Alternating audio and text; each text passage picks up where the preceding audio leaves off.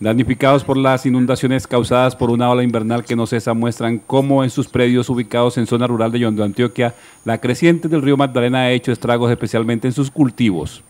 Este es el caso de la vereda San Luis Beltrán, donde una de esas personas damnificadas muestra la dimensión de los daños causados por la naturaleza.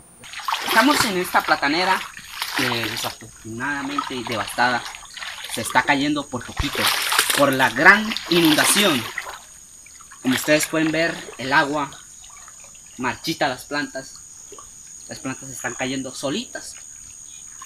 Podemos caminar, hemos visto muchas cosas como el mango. Ahorita pasamos al sitio de donde la yuca, el agua está al tope. Este otro joven del campo narra cómo se perdió el cultivo de yuca. Hemos perdido casi 13 hectáreas de yuca, impresionante. Eh, casi una hectárea de plátano, auyama, totalmente perdido.